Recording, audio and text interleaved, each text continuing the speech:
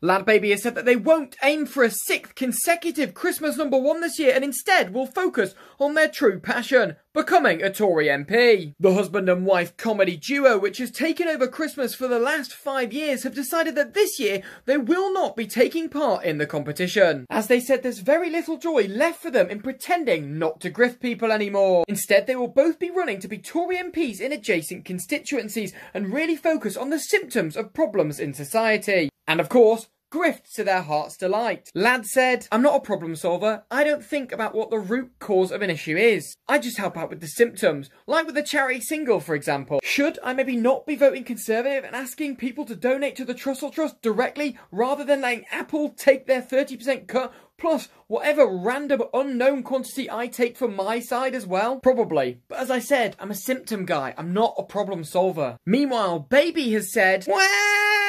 So she'll fit right in with the Conservative Party, a spiritual successor to Nadine Dorries. So, with them out of the way, the number one song spot for this Christmas looks like to be a hotly contested battle between the John Lewis advert and the viral TikTok sound from Harry Potter. Not me, not Hermione, you.